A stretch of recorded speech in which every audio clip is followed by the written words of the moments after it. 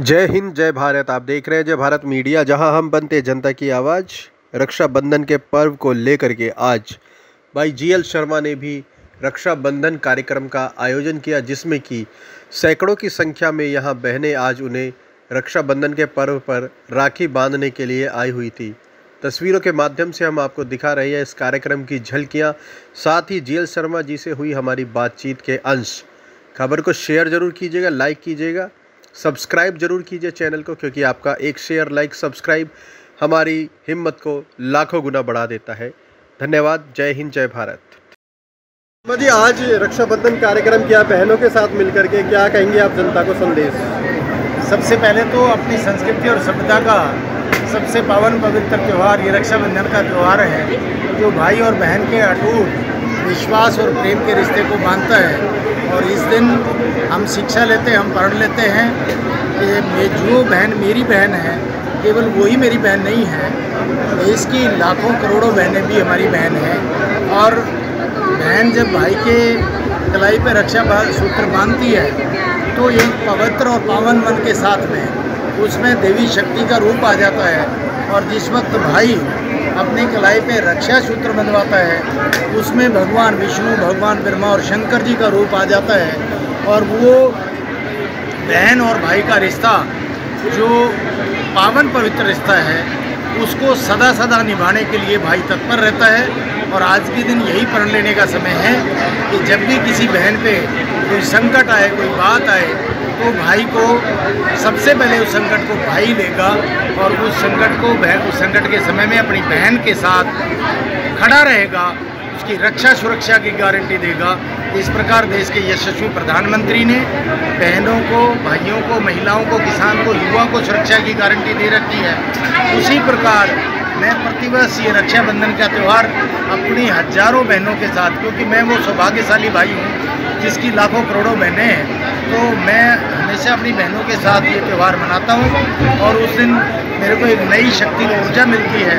मेरी आत्मा पवित्र हो जाती है कि मैं मेरी बहनों की रक्षा सुरक्षा करने में सदा सक्षम रहूँ और ये ताकत ही मुझे इस बात को प्रेरित करती है। सदा ही अपनी बहनों के लिए, अपने भाई को सदा उनके साथ, उनके सहयोग के लिए तत्पर रहना चाहिए। बिल्कुल आपने सही कहा, भाई बहन का पवित्र त्यौहार है, लेकिन इस त्यौहार को इस बार जो है राजनीतिक रूप से देखा जाना तो ऐसे में आप ये पहली बार जो मनाता है, कोई इस तरह का कार्यक्रम करता है तो ये आप मान सकते हैं कि उसमें राजनीतिक रूप है। लेकिन हम हम तो वर्षों से यही कार्यक्रम हमेशा जब चुनाव भी नहीं होते या होते हैं? त्यौहार आते हैं, सभी त्योहारों को हम मनाते हैं। सारे हमारा हिंदुस्तान की ये खूबसूरती है कि सबसे ज़्यादा ऋतु और सबसे ज़्यादा त्यौहार, वो हिंदुस्तान में आते हिंदुस्तान के लोग हर्ष और उल्लास के साथ अपने त्योहारों को मनाते हैं। तो ये जो रक्षाबंधन का पावन त्यौहार है, इसमें सभी बहनों को और सभी भाइयों को मैं अपनी तरफ़ से हार्दिक शुभकामनाएँ देता हूँ और परमात्मा से प्रार्थना करता हूँ कि ये भारत देश के बहन और भाई सदा सुखी रहें और विकसित भारत का संकल्प जो लेकर के देश के यशस्वी प्रधानमंत्री चले। उसमें मातृशक्ति का और भाइयों का, क्योंकि 70 परसेंट युवा आबादी का देश हिंदुस्तान है तो ये 70 परसेंट आबादी और 50 प्रतिशत आबादी हमारी जो महिलाओं की है, ये आबादी देश के प्रति समर्पित भाव से काम करे तो नो, इसमें कोई संदेह नहीं कि जो 11 नंबर से देश अब पांचवी विश्व की आर्थिक शक्ति बनाए, आने वाले समय में तीसरी आर्थिक शक्ति बनेगा, इसमें किसी प्रकार की कोई राजनीति नहीं है। केवल अपने त्यौहार को मनाने के लिए हम सब हर प्रतिवर्ष इकट्ठे होते हैं। आज भी हम बहन भाई इकट्ठे हुए हैं और हज़ारों बहनें यहाँ आकर के मुझे आशीर्वाद दिया है और मैं भी अपनी बहनों को रक्षा सूत्र बंधवाते हुए बहुत गौरवान्वित महसूस कर रहा था। हमेशा करता हूँ और आगे करता रहूँगा। किस किस जगह पे जो बहनें हैं वो आज यहाँ पर आई पूरे गुरुग्राम के क्षेत्र से, गुरुग्राम के क्षेत्र से हज़ारों की संख्या में बहनें आई हैं। कोई एक क्षेत्र नहीं है। सभी क्षेत्रों से बहनें आई हैं और मेरा, चूँकि ये पहली बार इस तरह का कार्यक्रम नहीं है और प्रतिवर्ष इस तरह का कार्यक्रम होता है तो इस नाते से बहनें अपने जो गुड़गांव की लाखों बहनें मुझे जानती है और लाखों बहनों को उनका भाई जानता है।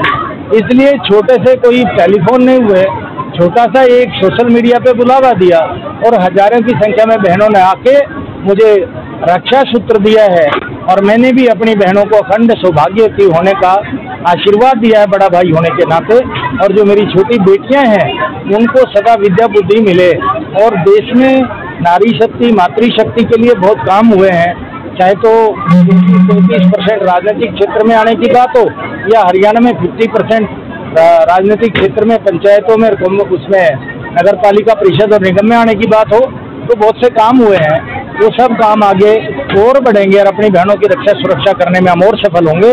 यही यही प्रेरणा आज हमने रक्षाबंधन के त्यौहार को ली